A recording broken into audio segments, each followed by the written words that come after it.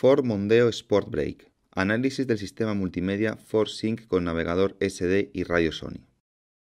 Las versiones más equipadas del Ford Mondeo tienen como parte de la dotación de serie una pantalla táctil de 8 pulgadas, situada en la parte central del salpicadero. El rendimiento de esta es mejorable, ya que hay que realizar las pulsaciones empleando bastante fuerza, y además las huellas se quedan marcadas con mucha facilidad.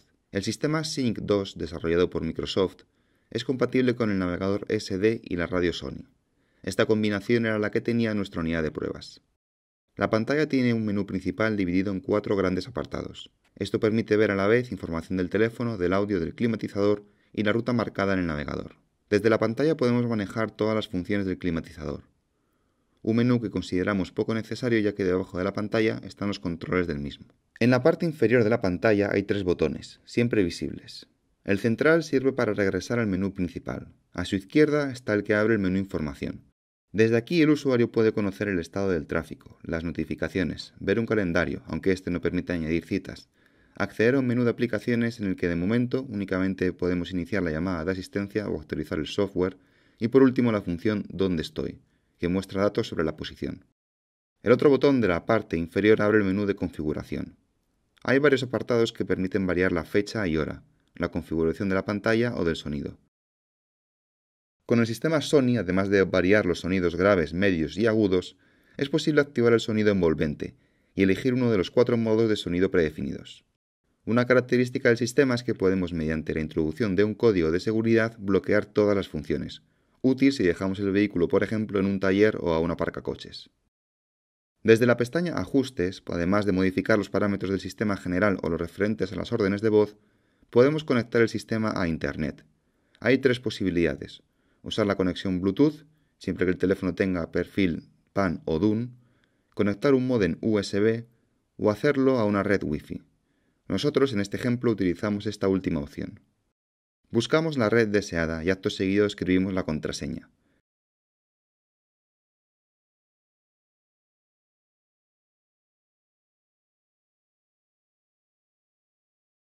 Una vez hecho esto, esperamos a que el sistema se conecte. De momento esta conexión únicamente sirve para actualizar el sistema. No es posible navegar por Internet o crear una propia red Wi-Fi para los ocupantes del vehículo. En el apartado Ayuda, el usuario puede ver información del sistema, iniciar y configurar la llamada de socorro o ver un listado con todas las posibles instrucciones de voz. Nuestra unidad de pruebas tiene el sistema de voz en inglés y no ha sido posible cambiarlo. El navegador tiene la cartografía almacenada en una tarjeta SD, un sistema muy sencillo de utilizar. En la parte superior está el menú Destino, con todas las opciones que permiten iniciar un guiado. Destacamos la opción Emergencia, que posibilita buscar los hospitales y comisarías cercanas. Hay dos maneras de escribir un destino de forma manual, una introduciendo el código postal y la otra escribiendo el nombre de la ciudad. Hay varias opciones para la distribución de las letras en el teclado.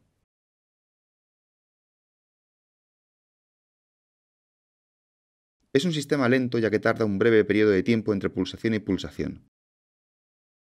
Además, como veremos en el ejemplo, no aparece un listado de manera automática con las opciones coincidentes. Solo en caso de que exista un único resultado, el sistema actuará de manera automática.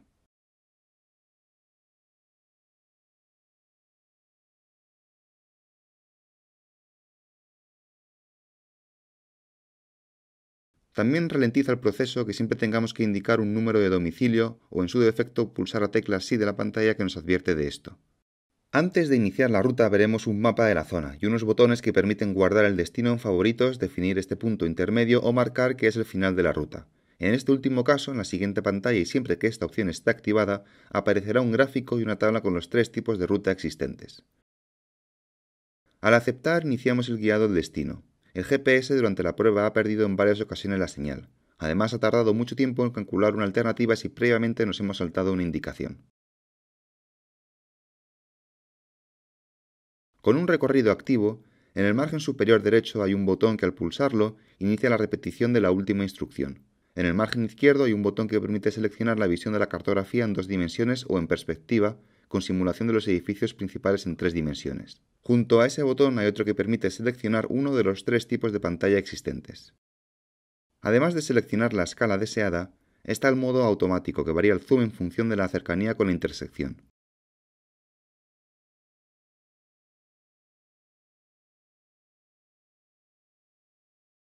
Desde el menú principal podemos ver un gráfico con el próximo giro y la distancia hasta el mismo. Si en la pantalla hay otro menú, en el margen superior derecho aparecerá el nombre de la calle por la que circulamos. En el cuadro de instrumentos también veremos indicaciones sobre el próximo giro. Con una ruta activa, si volvemos a pulsar el botón Destino, aparecen dos nuevas opciones. El botón permite editar la ruta y la otra la cancela. Existe una segunda forma de parar un guiado hasta el destino, y es pulsando el botón Navegación. En este menú hay un acceso al apartado de los avisos de tráfico. Estos se dividen en varias categorías, por ejemplo, los que inciden sobre la ruta. En cualquier caso, al pulsar sobre uno de ellos obtendremos un mapa y más información.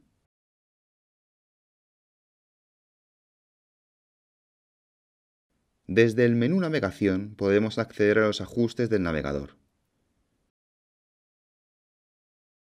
es posible, entre otras opciones, seleccionar una ruta como predeterminada, elegir el tipo de carreteras a evitar, activar el aviso de puntos peligrosos,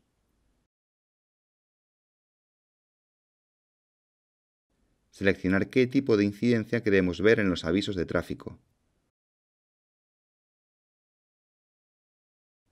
o marcar áreas a evitar. La conexión Bluetooth forma parte del equipamiento de serie en los niveles Trend y Titanium. Hay dos maneras de sincronizar un teléfono móvil con el sistema. Una de ellas es iniciar la búsqueda en el vehículo y otra hacerlo desde el teléfono. En este último caso, una vez localizado, tendremos que confirmar el código que aparece en pantalla.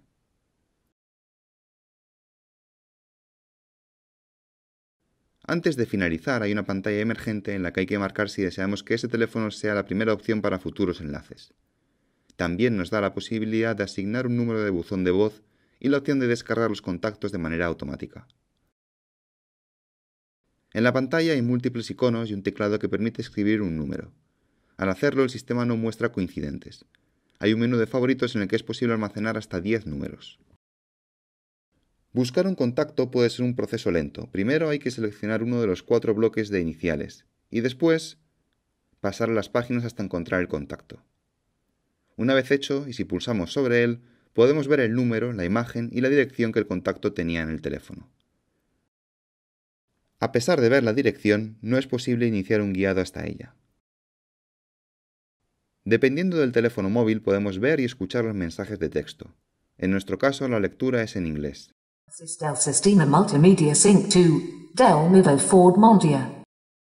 Como hemos visto, no es posible ver y oír el mensaje a la vez. Para verlo, si antes lo hemos escuchado, accedemos al menú de mensajes. Con uno abierto podemos responder realizando una llamada o seleccionando uno de los 15 mensajes predefinidos.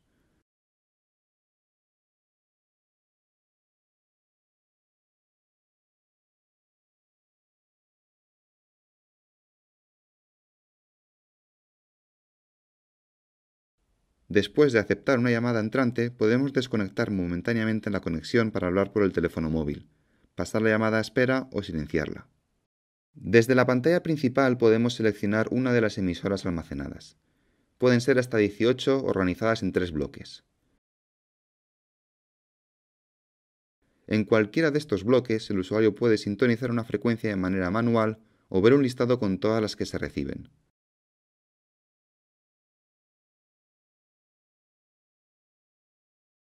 La interfaz al reproducir un disco CD o una memoria USB es muy parecida, solo varía que con esta última es posible buscar música similar. Con cualquier fuente de reproducción, el usuario siempre podrá ver información del archivo de música. Al tocar sobre el menú Navegar aparecen dos opciones. Si pulsamos sobre Navegar archivos, lo que ocurre es que realizamos una exploración de la memoria. Veremos el nombre de las carpetas y cuántos archivos contiene. La otra opción denominada Música abre un menú desde el que podemos realizar búsquedas de música de varias maneras, por ejemplo por artista. En el margen izquierdo podemos seleccionar la fuente en la que deseamos buscar. Si seleccionamos un reproductor iPod aparece una opción más que es la lista de reproducción. Otro modo de reproducción de audio es a través de la conexión Bluetooth. Hemos utilizado un Samsung Galaxy S3 Mini y en la pantalla podemos visualizar los datos pero no la imagen del disco. Tampoco hemos podido realizar una exploración. Solo hay un lector de tarjetas SD, por lo que si se usa para música no podremos utilizar el navegador. Por último, hay una conexión auxiliar RCA que permite reproducir audio y vídeo desde la pantalla principal. En esta pantalla y de manera opcional está disponible la cámara de visión trasera. Sobre ella hay unos gráficos fijos de colores y otros que giran solitarios al volante, mostrando la trayectoria. Hay una opción que permite cambiar la vista.